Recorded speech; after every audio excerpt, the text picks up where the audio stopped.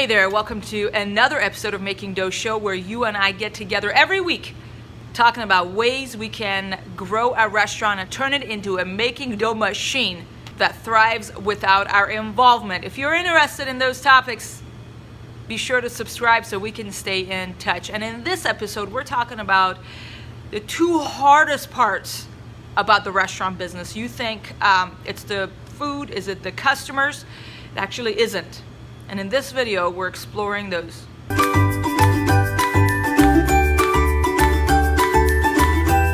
The hardest, hardest part about being in the restaurant business is money. And that's why, again, this show, we're talking about making dough. If you ain't got dough, there's nothing to work with. So, restaurant is expensive. You need capital. You need to pay expensive rent. Labor is high, taxes, insurance, all kinds of stuff that goes into the restaurant industry. If we're not making money and every month we're losing money, sooner or later we're gonna run out of gas and we need to close our doors. It is a vicious industry. Many restaurants don't make it. The stats are outrageous, heartbreaking.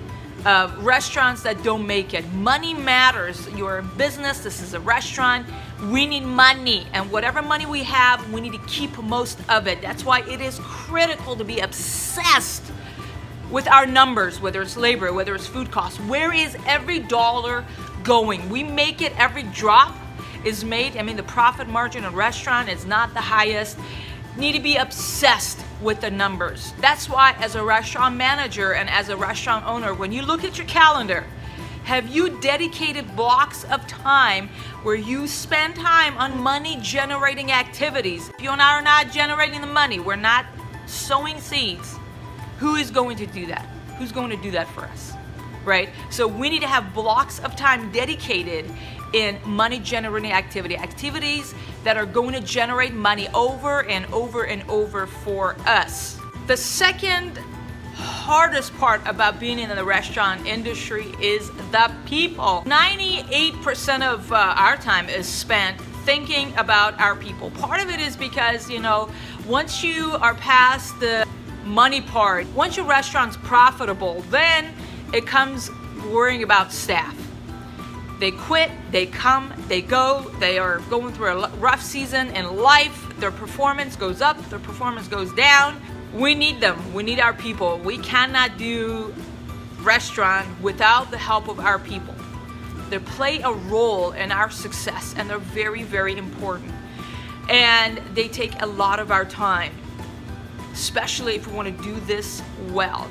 That's why it is critical when you look at your calendar, when you look at um, your week, you must have blocks of time dedicated to your people, meeting with them, reviewing uh, their performance last week, documenting how things are going, training and obsession with training.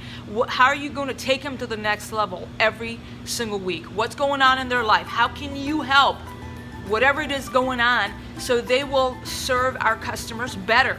You must be constantly hiring, constantly training, constantly documenting everything and sadly constantly firing people. And I know I've said the word training multiple times, but one of the things in our company is that we are obsessed with a training system that is scalable and everybody has got to be getting some sort of training every week. I don't care how long you've been in this company, you're always training because if you're not training, you're dying and, we really don't want to be having dead bodies around.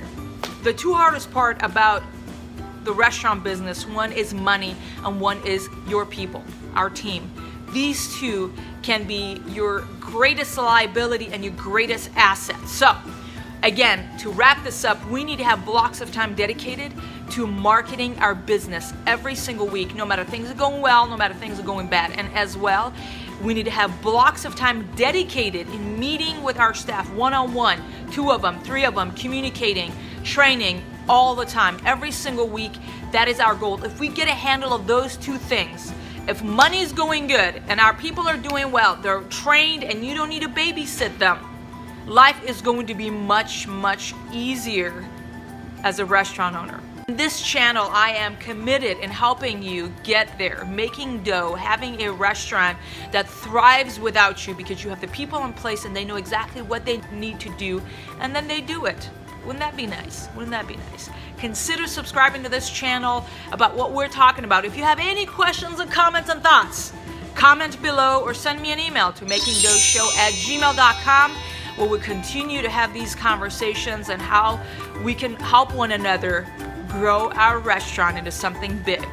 And I hope to see you next week right here in Making Dough Show.